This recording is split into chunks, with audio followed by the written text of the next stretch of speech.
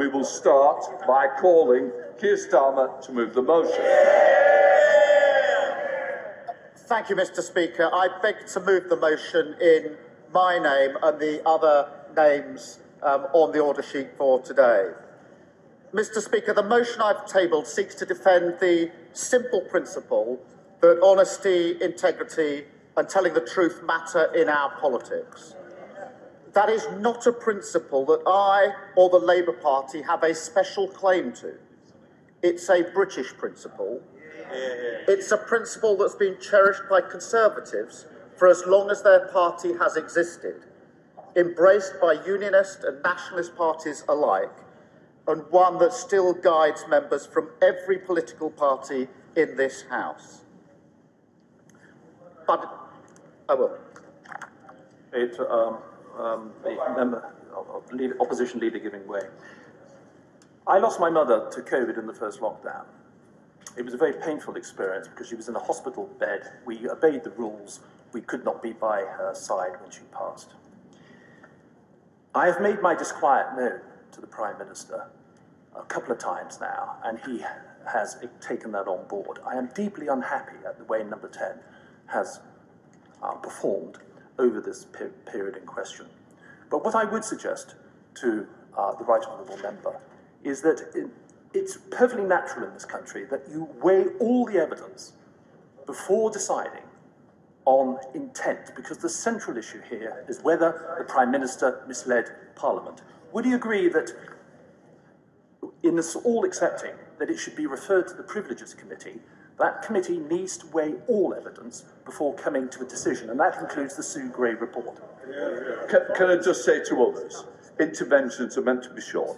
What I would say, and I do say to us, if you're intervening and you are on the list, you will go aloud. I know the honourable member's not, and obviously wouldn't want to now he's made his speech. Yes, uh, Can I just first say I'm sorry, I'm sorry for the loss within your family, and we all send our condolences. I know how difficult it has been for so many during this difficult period. Um, in relation to the substantive intervention, just two points, and I'll develop them later. The first is there is already a case before the House that's um, very clear. The Prime Minister said no rules were broken. 50 fines for breaking the rules and the law have already been issued. So there's already um, a reasonable case. But under the motion, because I do understand the sentiment behind the intervention, um, if the motion is passed, the committee will not begin their substantive work until the police investigations are complete, so that they will have all of that evidence before them, one way or the other, uh, in order to come to a view. And I think that's within the body of the motion, and that's the right way and the way it should um, work. And I hope that does um, address the concerns that have been raised.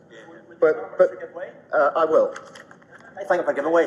And further to that point of the Honourable Gentleman across the way, many of us in the Chamber have uh, lost loved ones over the last period of time, and we feel greatly aggrieved that we haven't had the opportunity to uh, uh, have our, our day in court, if that's the way to put it, perhaps.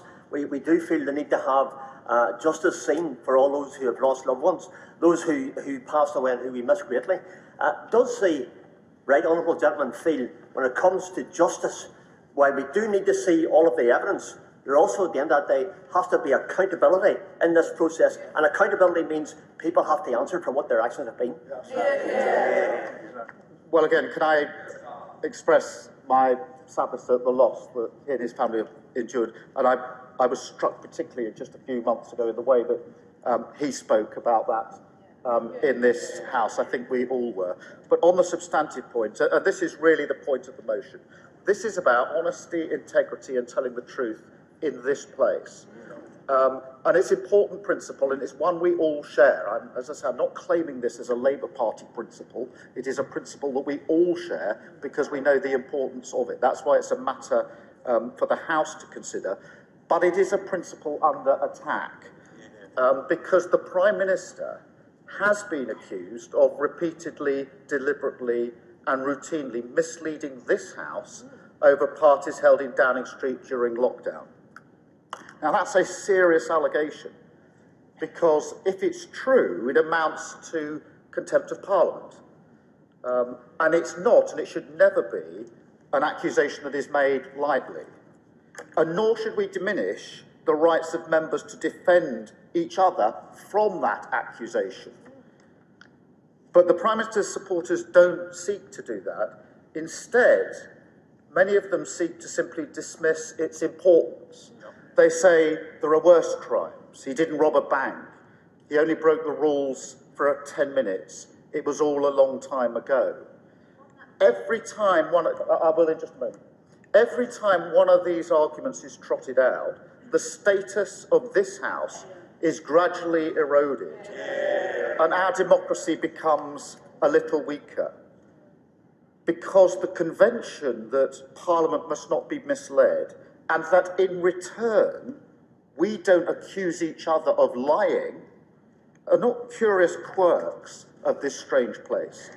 They're fundamental pillars on which our constitution is built. And they're observed wherever parliamentary democracy thrives. With them, our public debate is elevated. When members assume good faith on behalf of our opponents, we can explore, test, interrogate our reasonable disagreements about how we achieve our common goals. Because ultimately, no matter which benches we sit on, no matter which whip we follow, fundamentally we are all here for one reason to advance those common goals of the nations, of the peoples that make up our United Kingdom. And I give way. Grateful to the uh, Leader of the Opposition for giving way. And He mentioned some of the arguments around, well, it was just nine minutes. Well, I met a woman who was a daughter of a serviceman. He lost his life the week before that birthday party. And she said to me, what I wouldn't give for just nine more minutes with him. I congratulate him on the way he's rising above party politics here, but to yeah, just yeah. diminish nine minutes as just anything, it diminishes us all across both sides of this house. Would you not agree?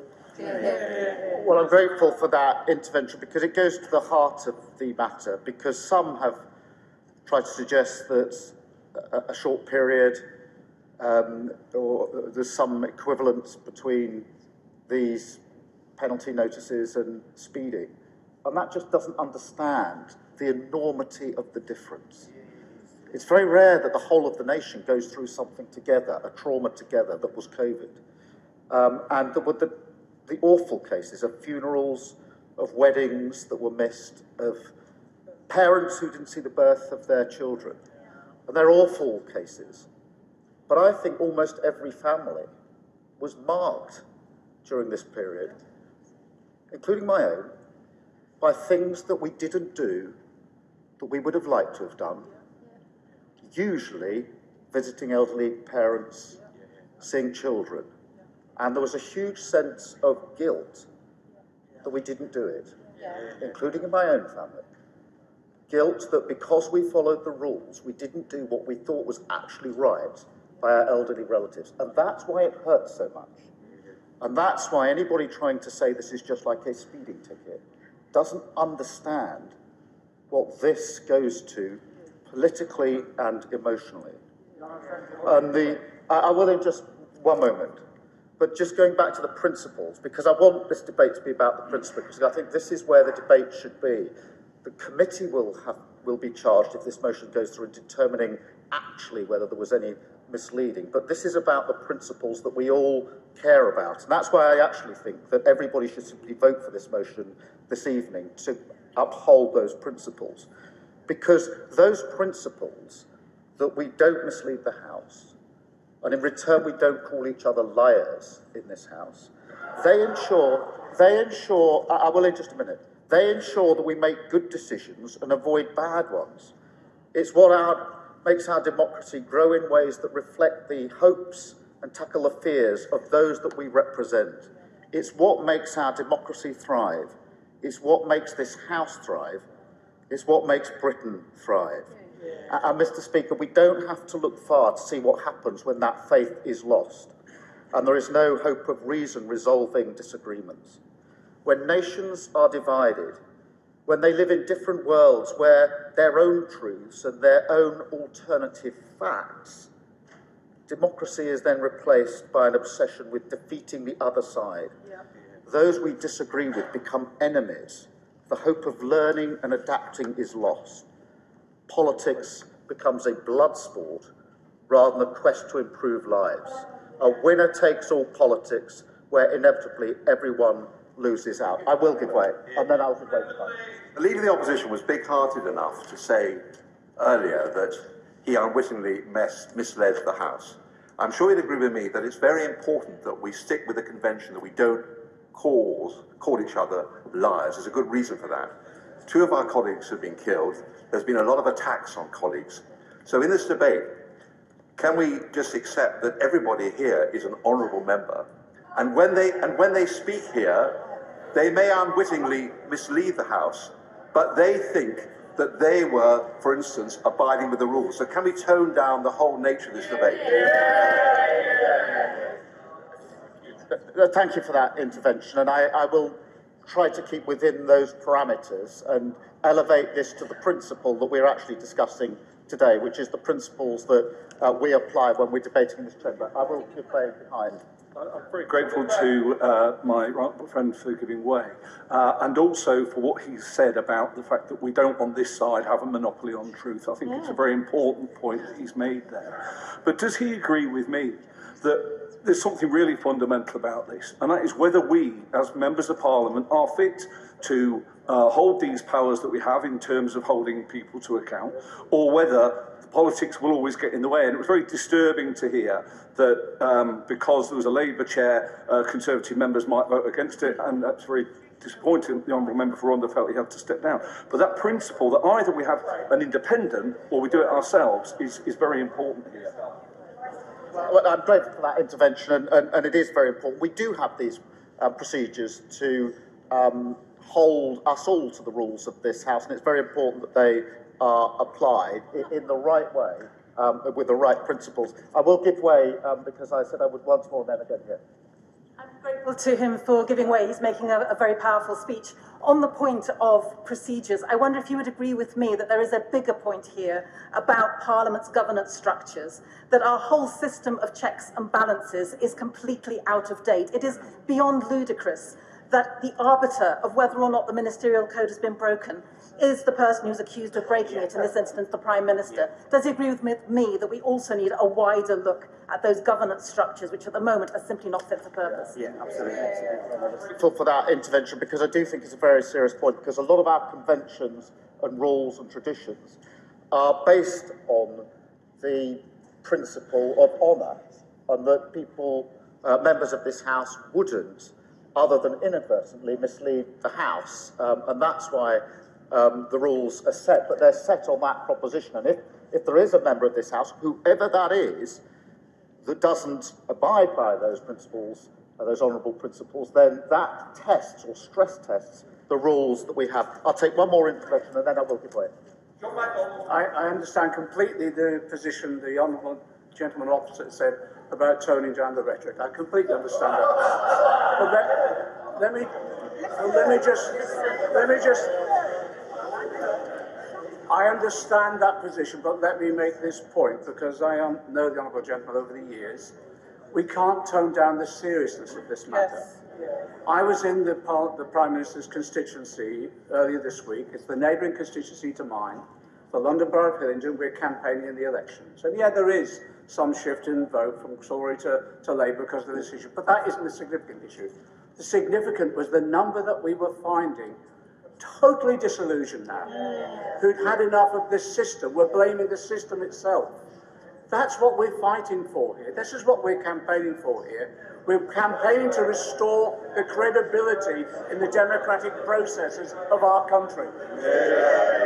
And I'm grateful for that intervention. I think it's a really important and powerful point because if we don't pass this motion, if we don't take this opportunity to restate the principles, then we are all complicit in allowing these standards to slip. We're all complicit in allowing the public to think we're all the same, nobody tells the truth, um, there are alternative sets of facts. I, I, I, will in one minute, I've given away a lot and I do want to uh, make some progress, but I'll try and come back to the Honourable Member. But because the conventions, I'll, I'll, make some progress and I'll try to come um, back to people where I can. Um, the conventions and the traditions that we are debating this morning are not an accident. They've been handed down to us as the tools that protect Britain from malaise, from extremism, and from decline. And this is important because the case against the Prime Minister is that he has abused those tools. That's the case against him. That he's used them to protect himself rather than our democracy. That he's turned them against all that they are supposed, supposed to support. Um, and members opposite know that the Prime Minister has stood before this House and said things that are not true. Safe in the knowledge that he will not be accused of lying because he can't be. He stood at the dispatch box and point blank denied rule breaking took place when it did. Yeah. And he did so, as he did so, he was hoping to gain extra protection from our good faith that no Prime Minister would ever deliberately mislead this House. He's used our faith, our conventions, to cover up his misdeeds. Because, I'll just finish this point. Because after months of denials, of absurd claims that all the rules were followed, of feigned outrage at his staff discussing rule breaking, we now know the law was broken. We know the Prime Minister himself broke the law. And we know that he faces the possibility of being found to have broken it again and again and again. Because the police investigation is ongoing, we don't need to make final judgment on the Prime Minister's contempt of Parliament today. When the time comes, the Prime Minister will be able to make his case. He can put his defence, of course he can. He can make his case that his repeated misleading of Parliament was inadvertent as his defence, that he didn't understand the rules that he himself wrote. He can make that defence.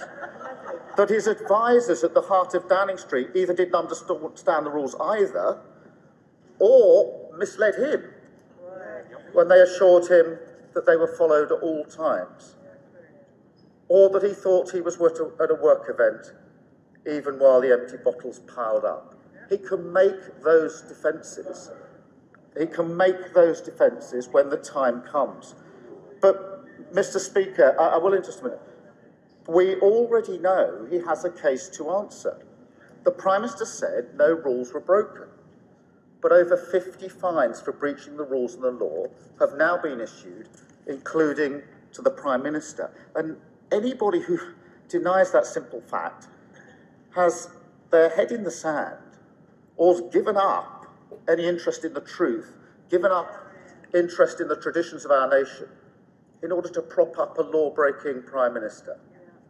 Now, the motion today would refer the matter to the Committee for Privileges, a committee that has a government majority. So no one can say the Prime Minister is not being judged by his peers. The committee would only investigate the Prime Minister for contempt once the police have concluded their investigation. So no one can say there is prejudice to the rest of the inquiry. And of course, any findings the committee comes to, any sanctions they might propose, would then come back before this House as a whole, so no one can say it's too soon for the House to decide.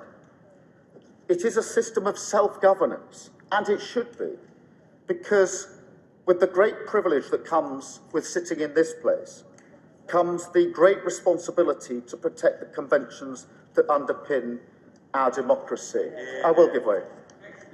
I'm, I'm grateful to the Honourable Member for giving way. On conventions, does he also agree that language is equally important? And therefore, would he take this opportunity to distance himself from the Honourable Member who spoke earlier on, who said that he wanted to lynch another Honourable Member, or the Honourable Member who sat right next to him, who's on this side, Tory scum, he should distance himself from them?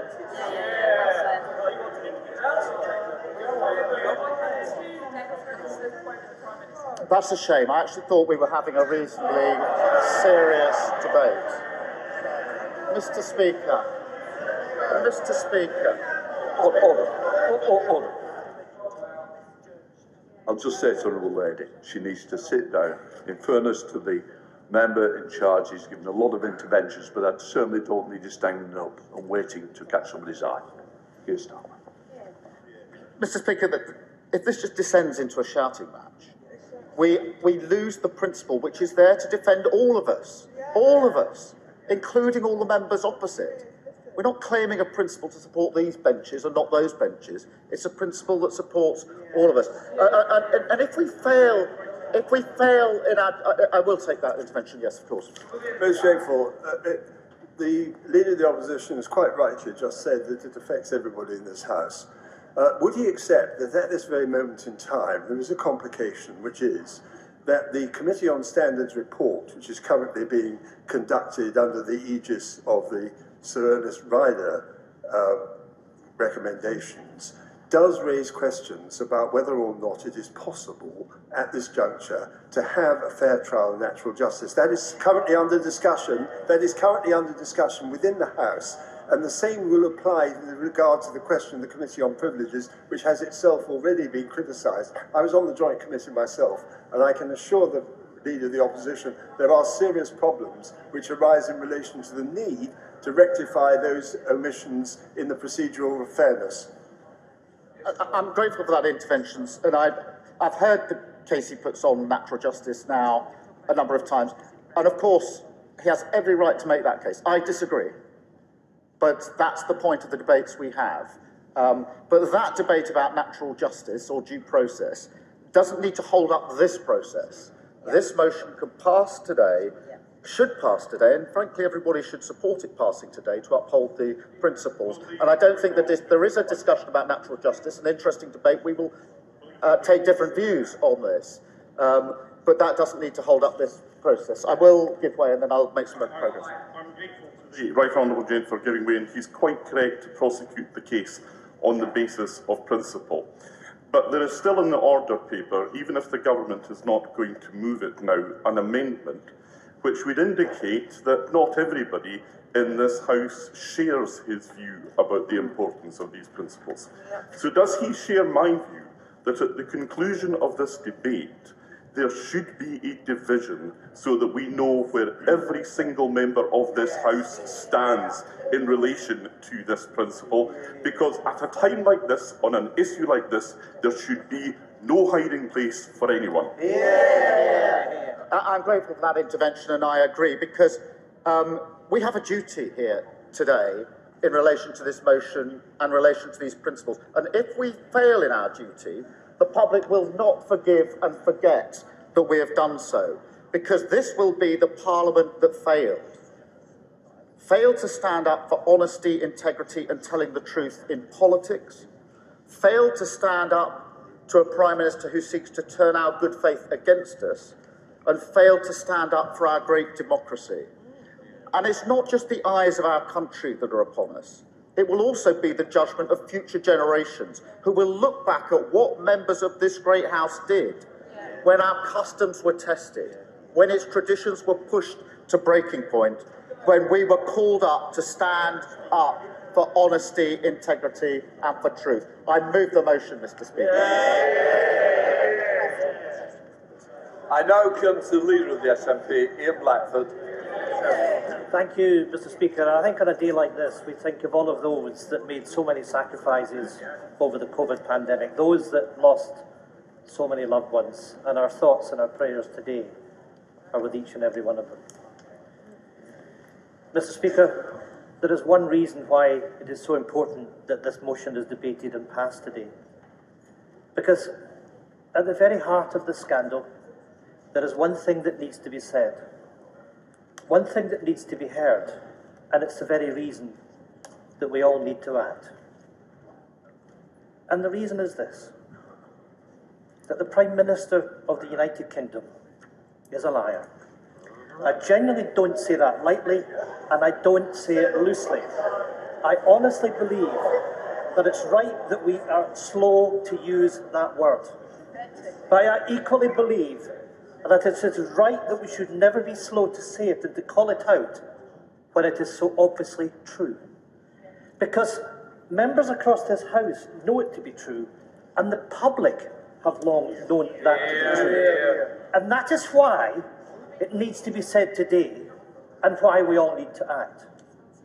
Because, Mr. Speaker, every single day in this chamber, there are motions that come before this House which are complex and nuanced. And there are usually two sides to an argument and valid reasons from whichever position is proposed. But I think we can safely say that this definitively isn't one of these debates. The evidence of the motion speaks for itself. It's as clear as day. If there ever was an open and shut case, this is it. Mr. Speaker, last December, the Prime Minister came to this House and denied that there were any parties in 10 Downing Street during the long COVID lockdowns. Typically and tellingly, he hid behind his staff in saying it. He told us that he was given firm reassurance that no parties had happened, that no rules had been broken. Every member of this Parliament witnessed it. Mm-hmm. The public saw it with their own eyes. And shamefully, to this very day, it is still on the record of this House. But we know the truth. And the truth contains no ifs, no buts, and no maybes. Mr. Speaker, the House was misled. Hear, hear. And so were the public. And we were all misled deliberately because the Prime Minister knew the truth. Not only were parties happening, not only was the law broken, the Prime Minister was at the very parties he denied had even happened. The truth is simple, and it's this he lied to avoid getting caught. And once he got caught, he lied again. Mm-hmm. There is no other way to describe it. There is no other word for it. Now, Mr. Speaker, I can understand that this may be a terrible truth for the government benches to hear. But it's a truth that they need to hear. And it's a truth they need to live with. And I say to the Father of the House, who I've got the utmost respect for, this has got nothing to do with any elections. This is about the behaviour of a Prime Minister in office. And much more importantly, the uncomfortable truth that the Prime Minister of the United Kingdom is a liar is exactly why they finally need to act and remove him from office. Hear, hear. And other Prime Ministers, including all the predecessors as Conservative Prime Ministers, would have been long gone by now. Mr. Speaker, the benches opposite put the Prime Minister in power. They have the power to remove him, and the public expect them to act. Mr. Speaker, we have reached this point. A motion of contempt for a sitting Prime Minister is shocking, but unfortunately, it is no surprise. My right honourable friend give way? I will happily give way. Grateful to my right honourable friend uh, for giving way. He's made an important point about the members on the benches opposite being here to uh, listen and to see this. And regardless of the number of flushed or drained faces opposite, what does he say to those who have previously called for the Prime Minister uh, to resign, but now, as things have got worse, have changed their position and are not here today? Well, I, I'm grateful for that intervention, and I will come on to that in a little bit more detail. But I'd say to everybody, the Tory MPs that are here and those that are not here for whatever reason, is to show some moral fibre, to show a backbone, to recognise what this Prime Minister is doing to the very fabric of our democracy. And today, today of all days, to do the right thing and support this motion that is in the name of the Leader of the Opposition, but so many other parties in this House as well. Mr Speaker, we shouldn't forget that when the Tories put this Prime Minister into Downing Street nearly three years ago, the Tories knew, no, actually, it was the Conservatives that elected Boris Johnson as their leader. And the important fact, Mr Speaker, is that the Tories knew exactly the kind of person that they were putting into the highest office in the land. They knew his track record. They knew his character. They knew who he was, they knew what he was, and they still chose him as their leader. Of everyone in this House, the members opposite know better than anyone else that a trail of scandal and lawbreaking was always going to define his time in office. And in these three short years, unfortunately, those who made those predictions haven't been disappointed. The sleaze and the scandal have been ten a penny. From lying to the Queen to illegally prorogate Parliament, to shut this Parliament. I, we've got to be careful. I've asked for moderate language, more temperate language, and lying to the Queen and bringing the Queen to. I'm not having. Ian Blackford, I want to withdraw. Withdraw. I want to just withdraw that point. Since, in deference to yourself, Mr. Speaker, I will do so, but let's not forget the fact that the Prime Minister was found in the highest court in the land of illegally proroguing this Parliament. Yeah, yeah, yeah. Stuffing the House of Lords. As I said at the beginning, I, I know the Honourable Member will want to stick to what I said. It is about the terms of what we are debating. We can't go beyond that. So I know he's very good he, and he can stick, stick to the script that I've explained that we do so. Ian Blackford. I will, I will happily take that guidance, uh, Mr. Speaker, but of course we'll reflect on the Supreme Court's judgment. Uh-huh. Stuffing the House of Lords with Tory party donors, VIP lanes for COVID contracts, and even dodgy donations to decorate Downing Street. This is who the Prime Minister is. It is who he has always been. As Prime Minister, he has done exactly what it says on the tin. But the real point is this, and with every day that passes, and every day he stays in power, it is who the entire Conservative Party has now become. Thank my honourable friend for giving way. He's making a very measured and powerful speech that will strike a chord with the electorate in my area of all political persuasions who have been writing to me calling for the Prime Minister's resignation. What they are not surprised at is the repeated behaviour of the Prime Minister, the lame excuses, and the pattern repeating over and over again. What is surprising is that the honourable members opposite are keeping him, him in office. Why does my honourable friend think that is the case? Well, I have to say, I, I, I hope that uh, members opposite listen very carefully to what my honourable friend has said. Because the power to remove the Prime Minister rests with them. It rests with them. Because they can submit their letters to the 1922 committee. They can recognise the damage that this Prime Minister is causing to the fabric of our democracy, and yes, to the integrity and the honesty and the decency of this House. It is just, um, well, you know, here we go. Once again, the Conservatives want us to sit down and shut up. Yep. They don't wish to hear the voices of us that are here to represent our constituents, and quite frankly, are appalled at the way that the Prime Minister has laughed at the people of these isles with his behaviour over COVID. So, if members vote down this motion, not only are they endorsing all those scandals and all that sleaze, they are handing the Prime Minister a blank cheque to do it over again, and I would be surprised if the honourable gentleman opposite me would accept the scandals, the sleaze, the corruption, and is prepared to give the Prime Minister a blank cheque. Because I don't want to. If he wants to do that, he can rise and he can explain. Mr. Speaker, of course he's right to be surprised, because of course I'm appalled, and that's why I was encouraging him to sit down, because if he would just let us speak, he might advance his own cause.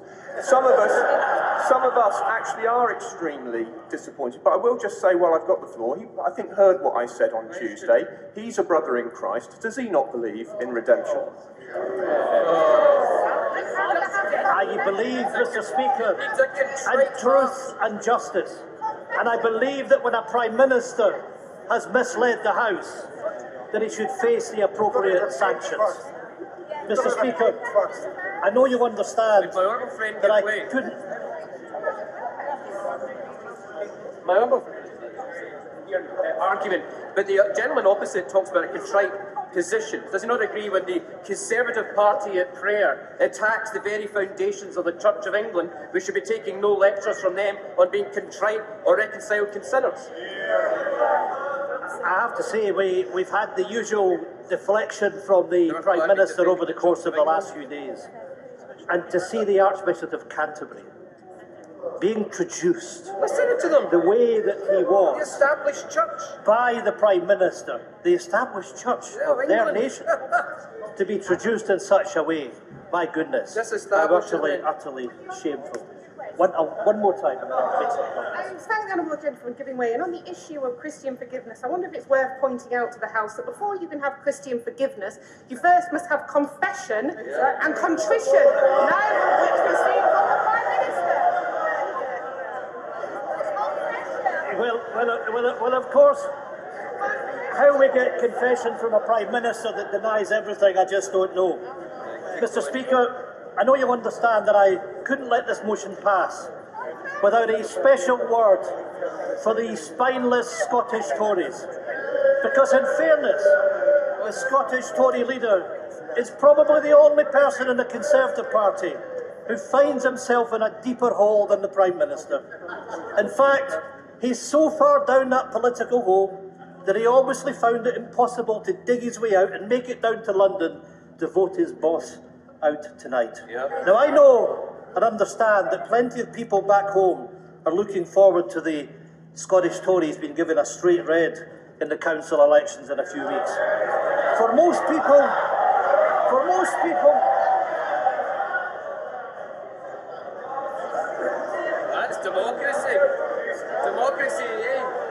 we go again, and I hope I hope the people in Scotland are watching this because what we see are the Conservatives trying to shout down parliamentarians in this House. That's what's happening, Mr. Speaker. For most people, it is very understandable. It is very understandable. There's Scotland's answer from the Tories. Let's shout Scotland down because that's what they're doing this afternoon. For most. Oh, oh, oh, oh, oh, oh. Can we just calm down? I do want to hear the honourable gentleman, and I know he wants to get back on track. He doesn't want to distract from the importance of the debate. Ian Blackford. Thank you, Mr. Speaker. You know, for, for most people, it's very understandable that their main reaction to the flip flopping Scottish Tory leader on his support for the Prime Minister is disbelief and justified anger. But I have to admit, when I reflect on the position of the Scottish Tory leader, my main reaction is something that I know you appreciate far, far less. I actually feel sorry for him because he's by no means the first person to have his career ruined by the Prime Minister. That particular pile of people is a mountain high by this stage because ultimately everybody, and I mean everybody, is eventually thrown under the Boris bus. As we saw yesterday, not even the Archbishop of Canterbury is safe. Clearly, the days of the Church of England being the Conservative Party at prayer are long gone. The Prime Minister's party are obviously praying to another God these days, though no doubt even that won't guarantee their salvation. But in all seriousness, Mr. Speaker, that unjustified attack on the Archbishop gives another toxic insight into the thinking and methodology of the Prime Minister. Because his modus operandi is very simple, and it's this. When he finds himself under political pressure, finds someone else to blame, anyone else, just as long as he never takes responsibility Yeah, himself. Because nothing and nobody else matters. The only thing that does matter is that this Prime Minister will stop at nothing to save his own skin. That is why members opposite should not save him today. Think about it. He wouldn't even lift his finger to help them. So if they have any self respect, they need to ask themselves why should they even be contemplating walking through the lobbies for him? Mr. Speaker, let me end on this point. It might surprise members that as a party that is so unapologetically seeking out of this very institution and out of this parliament, I actually do care how it acts, how it operates, and the values that it holds. And I care deeply for this reason. Because today's motion isn't just about this parliament or this place. We should all know by now that democracy and decency are under assault the world over. And Mr. Speaker, if we fail to defend these values in every single institution we are part of, these values will decay and decline. Mm-hmm. It was George Orwell who famously said that political chaos is connected with the decay of language. And I know that people are deeply fearful about just how real that prophecy has felt in the last few years. Because when language decays, so does the truth, and so does trust in our politics. A Prime Minister who can't be trusted with the truth marks the end of that very dangerous decline. So, if today is about anything, it has to be about finally ending that decline. That decline didn't start with this Prime Minister, but it needs to end with him. Because we should all be very clear to what the consequences are if this House fails to act today. If we don't act, if we don't stop, then this Parliament will be endorsing a new normal in this Parliament and across our politics. A new normal where no one is held responsible, where no one is held to account, and where no one, no one ever resigns. And that is exactly why this motion matters, because it can and it will only ever become a new normal if we put up with it. It only becomes normal if those responsible aren't held to account and aren't made to answer for their actions. So I would generally ask members from across the House, but especially those members opposite, if they have any interest in maintaining some dignity and decency in public life, they should finally hold this Prime Minister to account for his actions and remove him from office. They should support this motion and they should submit their letters of no confidence and they should finally show this Prime Minister the door. Yeah.